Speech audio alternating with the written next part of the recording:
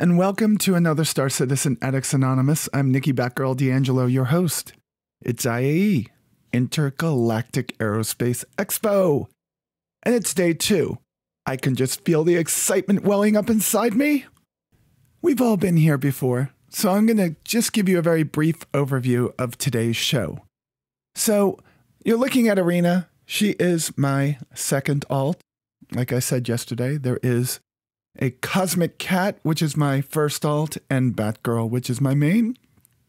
I use Arena for most of the videos because it's easier for me to do it with less ships because I don't have to worry about how long it takes to pick what I have. Anyway, after yesterday's debacle of multiple people dying at the expo because their helmets were left on, it seems that bug is somehow corrected itself, or Maybe just because I didn't wear my helmet, I didn't see it happening to me, and I didn't see the countless numbers of dead bodies littered all over the floor that I did yesterday. Also, the bug when you try on outfits where you get stuck in the try on screen seemed to have been gone for me today. Hopefully, the server issues aren't dealing too much damage to your enjoyment. I really wanted to attempt to take out one of the ships from this show and show you how it works. One of my favorites.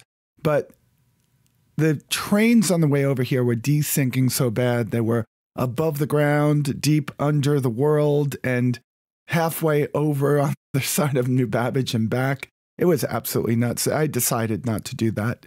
I think a lot of my reviews are going to come a couple weeks after when the free fly is over. And that's mainly because it's very difficult to actually show things. Uh, give you, for instance, I was just trying to get in my Carrack to look at all the changes that have happened. They enabled the cargo bit pods. And the front ramp got stuck in a loop because of desync, and I kept falling through it to the point where I was like less than 20% hit points left. And I just said, you know what? I'm not going to be doing that video for later on tomorrow. So we'll worry about all this in a couple of weeks, but until then, we'll just do videos like this. So, as we make our way over to the main floor, I want all the newcomers to remember that there are kiosks here that sell food and water, and don't let yourself die of something as easy as being able to walk over and buy a burrito and water. All right, so the main floor is dominated by the massive presence of the Reclaimer. It is the pinnacle, the top end ship of the salvaging job. And I'm walking over to get myself a burrito because they're just oh so good. And uh, I did eat one on the train and stacked a water, a burrito, and a can of soda on top of each other, somehow in a perfect tower. But needless to say, I'm just going to go through the motions here and then we'll turn back around and look at what's on the floor here. I'm not going to give you a full tour of each one of the ships because I really don't want to take that away from you newbies that are joining the game. Welcome, and I hope you love the game. Look in the description below for a referral code if you want to get 5,000 UEC and potentially get some other goodies throughout the show. All right, so salvage. That's the big thing here. You start off in something like a vulture and you move up to here. There's no in between. It's just really low end or ultra high end. And I'm sure that will be filled out over time. Salvage is fun, salvage is profitable, salvage is a job loop that you can do in the game right now. And it's semi worked out and hopefully gets a lot more love. But really, what Aegis is about is military ship. And they have some really good ones here today. There are multiple versions of the Sabre. Now, the Sabre has had a limited version called the Raven, which is an EMP burst fighter craft that will knock out your shields and systems and then take you out with its guns. But this one over here is something from what they call Masters of Air. This is the Comet, and all it is is a regular Sabre with a special skin and a different set of weapons. They do these a lot. Okay, so there's a Valiant for the. Uh, it, there, there's just a number of these. I think there's a Firebird, a Peregrine. Then for the Gladius, there's a yeah, the Gladius has that Valiant. So all I can say is Sabre is an amazing ship. I don't know if it's the meta anymore. I've been away for a while, but it is beautiful. And if you are into the bounty hunter slash mercenary job line, which honestly is kind of in its starting progression, but it still needs a little bit of work, or I should say a lot of work. This is a good ship for you to get, but I still recommend the Pinnacle of Fighters, which we will see at another time. Let's go into one of the other halls. And as we walk into this next hall, we have two of the most beloved ships in the Aegis lineup, and they are the Avenger and the Redeemer. So the Avenger has three different models. It has the Titan, which is one of the best starter ships in the game.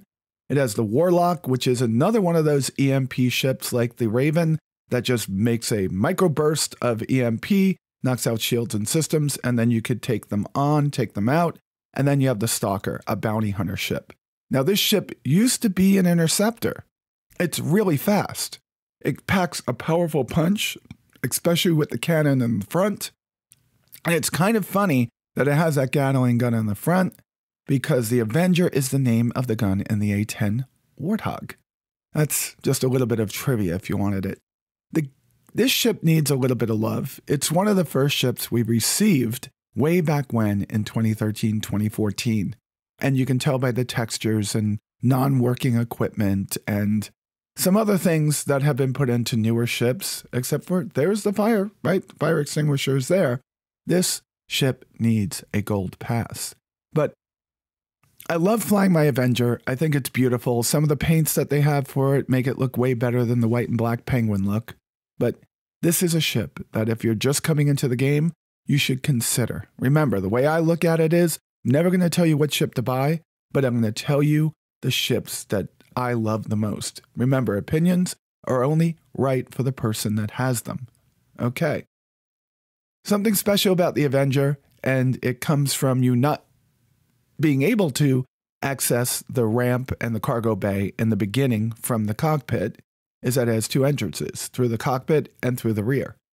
So this one over here, I believe, is going to be the Stalker because it has a Sucker Punch cannons. Sucker Punch takes out shields and systems. And if they try to get away, you could pick off like engines and different parts with this beautifully modeled, amazingly awesome cannon right in the nose. Now, the Stalker also has some really old looking, and I wonder if they still work, pods that you stick your bounties in. Now, I don't know who's going to go out and get this many bounties in one run alone. I mean, I, I don't know if you're going to survive that, but it was a really good concept when it came out about 10 years ago, nine years ago. And it still holds a little bit of truth today that you can use it, but I think most bounties are just killed at this point. I don't see anyone bringing them anywhere or know if that even exists in the game yet.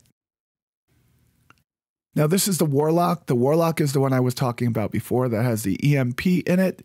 And essentially, you. You just put off an EMP burst, stop whatever ship you're pursuing in its tracks, and it takes out their systems. It also takes out your shields, but it gives you an opportunity to disable them. And maybe somebody in the stalker comes through then and helps you get the bounty. But this is a great ship to have in a group of fighters or other other starships, and uh, you could wreak some havoc with it. And mind you, that when you do set off the EMP and it hits friendly vessels, you will get a crime rating. Now, I'm not sure if that's still the case, but it's happened to me many times flying the ship. The next Avenger we see is another one of the Masters of Air configurations. This one is the Renegade, and Masters of Air has something to do with Arena Commander. I'm going to say this over and over again. It's just different configurations of the Aegis ships. I think there might be some others that we see later on in the show, but this is just one that one of the most famous pilots in the UEE Navy flew, and it's the configuration that they used in battle. It's nice. Sometimes you see it on sale. I love the color. It's not that black and white of the advocacy. It's pretty cool. Now we move on to the centerpiece of this hall, and it's the Redeemer. The Redeemer is a dropship, gunship, whatever you want to call it, but these days it's a gunship. It is hugely powerful.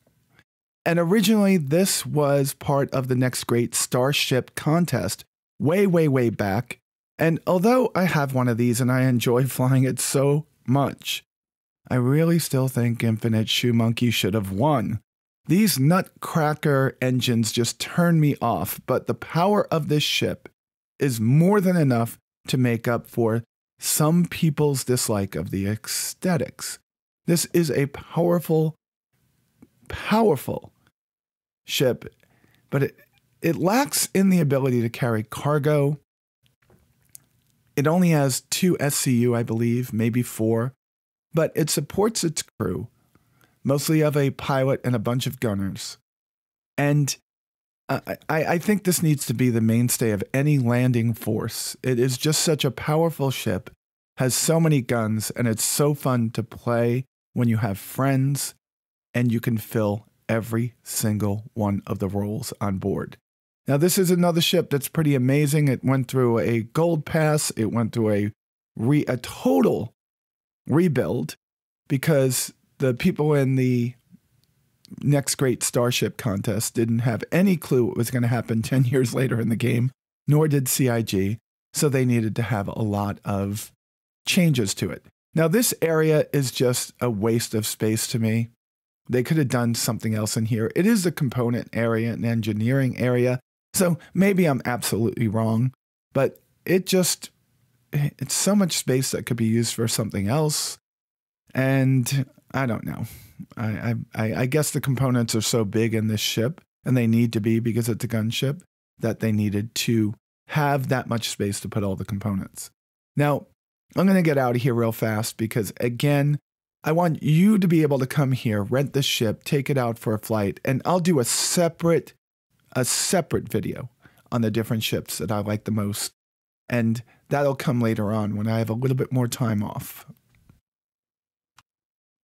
In this last hall, before we go down to the holo viewers, we have, yes, indeed, the Gladius, one of, if not the best, one of the best light fighters. And we have another Masters of Air version on the other side, but the Gladius is one of the most fun ships that I fly. This and the Arrow. And I have an extremely hard time telling people which one I like most and we'll see the arrow later on down the road in IAE at the Anvil Aerospace Day.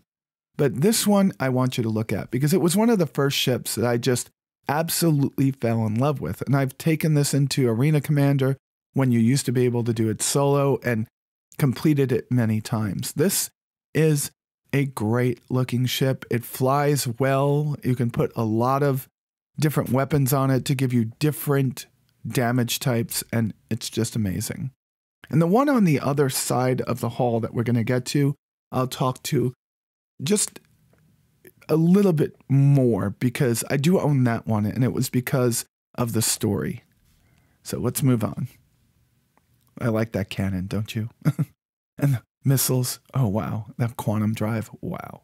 This this pod underneath just gives it such a such a unique look. I love it. So I have to say, you haven't experienced a amazingly fun time until you've had a full complement of people inside of a hammerhead. The hammerhead is most like an anti-aircraft destroyer slash frigate from World War II. It is bustling with guns everywhere. There are four covering the flanks, one covering the top, and one covering the rear. This thing is loaded to bear. My friends and I have taken this out a few times in claim jumper missions, and that was years ago. And it was just absolutely incredible. And I could only imagine how incredibly amazing this ship is going to be when orgs start setting up battles against each other. This is a fun ship.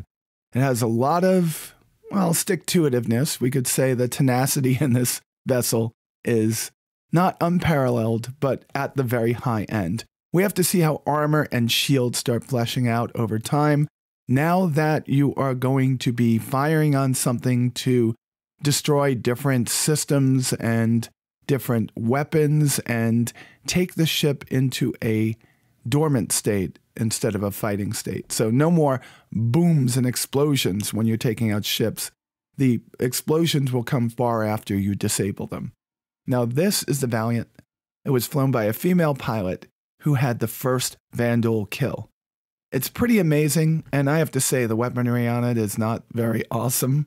I have changed this out, but I just like the story so much. This ship is, I'm going to just say what I said in the previous. It's amazing. And the Masters of Air classics are pretty cool because they give you another paint scheme and they give you different weapons. Now, in most situations, just buying the base model is going to be all you need to do. Don't spend more money. Don't worry about what weapons you have. As you make money in the game, you could upgrade all of those things. But if you really like the skin of one of the Masters of Air, the only way you're going to get those, I believe, is by buying the variant. Let you read that if you want to. Now, I can't believe I said that was the last hall because we have this one, and this one has a couple of ships in it that make up the stealth category of the Aegis lineup. And that's not true because the Raven is a stealth fighter, the Sabre's a stealth fighter, the Firebird's a stealth fighter, and those are all pretty cool. But this thing is amazing. Now, the Eclipse isn't going to be the best ship in the game because it's one of those that just hangs out far away, honing in on a target, staying out of sight, staying off the radar grid, and then fires its size 9 torpedoes. And then whatever is in the distance will blow up. Now that that is just different from what actually happens today with the point defense systems that are going on ships like the Polaris and the Phoenix. But it has been so much fun to do that in the past. And it is something that if you could buy in game, I would. Now, this is another ship that I believe needs a gold pass, but it has just been upgraded for modularity. This is the first modularity enabled ship in the game, with modules like torpedo bays, which is what this is made for, modules like an apartment or residence, modules like cargo or dropship, and this is where they're testing all that out. This is the F. Uh, actually, this is the B 17 or the B 29 Flying Fortress of World War II. And Lancaster bomber, right? Because that was also a beautiful aircraft that had lots of guns coming out of all the different uh, windows and turrets that were around it. And this is a great ship to fly with a full complement, but it was built in a time when CIG just designed the exterior of a ship and then tried to shove everything inside of it. So it, it just misses some of the amenities of some of the newer ships. Like when you take a starter ship from the beginning and you look at the recently introduced Intrepid, there's a totally different design language between them. And the attention to detail they give ships today is just so much more over the top than what we see in some of these older ships. And I hope gold passes upgrade textures, upgrade detail, and upgrade amenities inside. But right now, again, this is one of those ships, and you're going to hear me saying it over and over again because we do play inside of a multiplayer universe. This ship is best used or only used or only useful with multiplayer. So get friends together if you're going to get this ship. And I will say I love mine, but I don't always play with friends. So it just sits in the hangar. It's what I call hangar candy. I get to go and oogle at it, but I don't fly it as often as I want to. So this is the final, final hall. It's where the Vanguard is. And there are a few versions over here. There's a bomber version, a dropship version, there's an electronic warfare version, and the long range fighter version. This is the P 63 Black Widow. This is the mainstay of your bounty hunting force as you get up to the pinnacle, the top layer of missions that you have to do there. It's either going to be this or the Eclipse because the Eclipse is just nuts. But this ship, it only suffers from one thing it was built early on. it's had a few updates, but again, you know, when you look at it, there are things that are just like, wow. But some of the amenities, some of the details, some of the language that's used in building the new ships is just not here. They've added some of that stuff, and I think maybe another pass would be good. But if they didn't get one, it's definitely better than in the all the other ones I said that about. I have one of these. I have the Warden. I, am not a big fan of the bomber version. I'm not a big fan of the dropship version yet because, you know, right now we're not really doing anything like that. And I, I have a Valkyrie Liberator, and that's one of the best dropships, right? But the Hoplite, this this one, I don't know. It, it looks to me like it would be used by Marine Corps Recon or by Delta Force or one of those because you what are you doing? You're taking eight people into battle, six people into battle. So a platoon. So each one of these, you'd have to have hundreds of these for an invasion, right?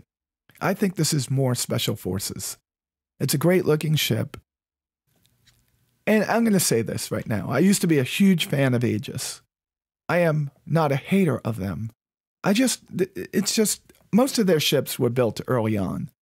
So their ships are missing that detail, that attention to detail, that amenities, the new design languages that newer ships get. And when you look at something like the Ugly Duckling, the Intrepid, the interior of that is just so well thought out. And the gameplay in that for a new user, a, a new citizen, is going to be so much better than some of the older ships that we have.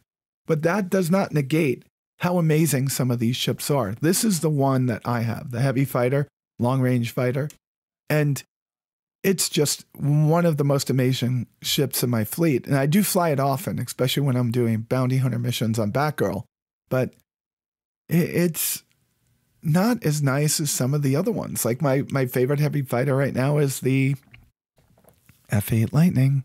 but this this one multiplayer, you need to have friends with you to man the turrets, and anytime you do anything with friends in this game, it's so much better, so much better. And again, I'm I'm just looking through these. I'm not going to fly them. I'm not going to get really deep into what they're about. I want you to come here, rent it, fly it, and make your own opinion. So, this is something that's happened in the game for many, many years and has ceased to an extent over the last couple of years. And that's the ship that comes out before any kind of gameplay is out for it. This is your electronic warfare ship. We don't have data running. We don't have high end scanning. We don't have true stealth mechanics in the game at this point. And this ship really just doesn't have a place in your hangar. Though the paint scheme, looking like the Blue Angels, and this huge cannon on it. just make it something that is appealing and that you might want to buy. So just understand that if you look at this ship, yeah, it's going to hold its own in a fight. Okay. But the true use of this ship is not in game at this point. So have at it if you want. Um, I, I did not get this version of it, and I'm not against getting this version of it. I just look at it like Let's see what this gameplay is like down the road. Now, there's some obvious missing ships from the Aegis Dynamic IAE day, and this is one of them. This is the military version of the Idris, and it has that huge cannon on it. And this is one of those ships that sounds like a great idea to purchase, and it would be for groups like Test. But you need a complement of people to fly this thing that is enormous. And it is going to be an amazing ship. And it's going to be one of the ships that you will be on inside of Squadron 42. I have no hate for this ship at all. I have much love for it, but I just don't have a place in my fleet for it. And my org owns many of them. It is a great ship. This next one is going to be something that someone's going to need to fly in every fleet. This is the supply ship, refuel, rearm, repair, whatever you want it to do. This is the mainstay of the support fleet, and this is the Vulcan. This is something that I think there's going to have to be a number of in anybody's large fleet, especially when you're out doing fleet actions. Or if we ever get the Tiber system, um, maybe it would be needed greatly when we actually get into Operation Pitchfork. But right now, I, I don't know how important this ship is. Maybe it's going to be super important as we move into Pyro. We'll see. And this is the Nautilus, which is, I don't know. I, I think it's kind of cool. It looks like a fish. Those two protrusions on the underside and the top side are for laying mines. Mines have been a part of all of Chris Roberts' games. So I know how they work in his other games. I just don't know how they're going to work here or how effective this ship is going to be. Are there going to be mine sweeper ships, not just mine laying ships? And I know they say this does both, kind of, sort of. Are you going to have smaller ships going out ahead of the fleet and blowing up mines? No idea. I'm not going to talk too much about these last two Ravens because they came out at a time when I wasn't very involved with Star Citizen, but I know this one is the racer and it's sleek, it's fast, and I haven't raced in a while, so I don't know if it's still the same. Looks kind of wide. I, I wonder if this is more for some of the newer race tracks that they're putting together. I'm going to have to check that out again, but this one is a nice looking ship. And again, any Sabre is always going to be beautiful. And the last one, as we come around the nose over here, we're going to skip back to the beginning of my trek down here is the Firebird. I think this is more of a stealth ship, and it has a heavy duty loadout from what it looks like. And I did rent this one and I tried to fly it, but desync was ridiculous. I couldn't hit anything. And all I have to say is, this is pretty awesome. Um, I'll, I'll let you look around the ship as I close out because I want to say goodbye to you all today. I work a lot during the holiday. I am putting in 10 hour days and driving an hour and a half in each direction now. So putting these videos together really does take a lot of my time that I have to sleep. And if you start to hear me get a little bit exhausted over the next couple of days, I apologize. Anyway, I am back. That's all I want to say. And with the next days of IAE, they might come a little bit later, but I'm going to try to do a couple of videos in between of some specific ships that I think anybody new coming into the game should take a look at. And with that said, you all be safe out there, and I will talk to you soon. Thank you so much for watching my videos. You can subscribe to my channel by clicking in the button in the upper left.